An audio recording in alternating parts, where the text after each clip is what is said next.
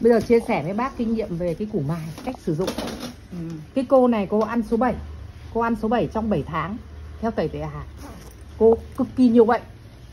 Ăn số 7 theo thầy tuệ hải. 7 hết tháng liền. sạch hết sạch tất cả loại bệnh. Gầy 17 cân. Sau đó cô chỉ có một chiêu là cháo củ mài. Ừ. mà bây giờ béo khỏe. Thì mọi khi thì em chỉ quảng cáo về cái sữa bổ mát. Ừ. thì nó tiện còn cái kinh nghiệm cháo củ mài này tại sao nó lại hiệu quả hơn cả sữa bổ mát? Tùng trả lời đi. Không biết gì? không biết gì thế chưa nói cái phải hiểu liền.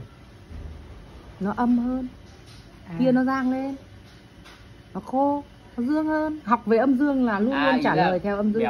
không có à mới ầm gì hết. À, đến gặp cô trâm sống với tinh thần thực dưỡng là phải tư duy theo âm dương. Nói cái phải trả lời liền không không cần đến suy nghĩ. Để sau này mình mới thoát được khổ. Khổ là do mình nghĩ. Nghĩ thằng này nó xấu nghĩ thằng kia nó tốt. Tốt một cái là dính bám mà xấu một cái là đẩy ra. Thế suốt ngày tham và sân. Thích là tham mà không thích là sân. Thế thì giờ từ cái kinh nghiệm ấy của cô ấy cô chia sẻ với em bác ạ. Ừ. thế thì em mới không tiếc công tiếc sức là em quảng cáo cái củ mài này. Ừ. nó quý ở cái chỗ là nó làm từ sống. Còn nhà em ba bốn năm nay năm năm nay hàng chục năm nay là có củ mài chín sấy khô và có bột củ mài. Chín sấy khô. Bột củ mài chín thì nó phù hợp cho những người không có thời gian. Hòa rồi uống luôn nó rất là tiện. Không Đấy. tốt bằng cái cái cái này ấy, thì nó hay ở cái chỗ này cả cô này cũng cần phải nghe cái thông tin này này. Lại nhắc lại lần nữa nhá là có một người vô cùng nhiều bệnh.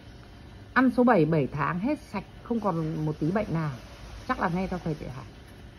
Xong sau đó gầy 17 cân. Và cô ấy khỏe mạnh như ngày hôm nay là bí mật là cháo củ mài, gạo lứt nấu với củ mài. Thì ở đây mình có cái cháo tiên như rồi. Mình cho cái củ mài này, củ mài sống thì tốt hơn nữa. Nó nhiều năng lượng hơn tí. Thế bây giờ mình có củ mài này. Tại sao lại nên ăn cái đồ sống này? Bởi vì em mới đọc trên mạng là thêm một thông tin nữa về củ mài là nó có cái chất nhầy nhầy. ấy thì nó tốt hơn là cái mà đã làm khô. Thế cho nên là đợt này em bán hết cái loại làm khô, ai còn thích thì em vẫn bán, nhưng mà em sẽ chuyển sang em khuyên mọi người mua sang cái này. Nhưng mà mua cái này thì nó có một cái phải, nó không được như thế kia thì nó lại gì? Phải ngâm 3 đến 5 tiếng cho nó nở ra, vì nó rất dương, nó co rút lại mà mà cái, hai cái đứa trẻ con đứng trước mặt mình nhá, tát một lực bằng nhau, đứa nào khóc trước đứa ấy âm hơn thằng này rất dương, đầu đầu bờ, đầu đầu biêu này là phải ngâm vào nước 3 đến 5 tiếng, nó mới nở cái bột này ra. Sau đó mình hấp cơm, mình nấu súp, nấu canh. Mình muốn làm gì là. thì cháu nhớ là tại sao thánh nhân chỉ trọng dương, không trọng âm? Bởi vì giao việc cho một cái thằng âm ấy thì nó bảo thôi, ngại lắm. Mà giao việc cái thằng dương này càng khó khăn càng vui thú. Đấy, thế tại sao trong gia đình phải cần có một người rất là là là là là nhiều năng lượng bởi vì những người lười kia là phải họ ốm đau thì là những người nhiều năng lượng phải lo toan chứ, là ai? Thấy trời mưa mà thích thú là trẻ con là nó dương lắm. Còn thấy người nào mà thấy trời mưa ngại lắm, không đi là người rất âm. Phải luôn tư duy theo như thế. Thế thì cô này, cô ấy nấu cháo củ mài, cô lên cân, cô khỏe lại. Thì cô lại nhắc thêm một thông tin thị nữa là gì biết không? Luôn luôn củ mài là phải ăn nóng. Trong trường hợp nào cũng nên ăn nóng các cụ dạy thế.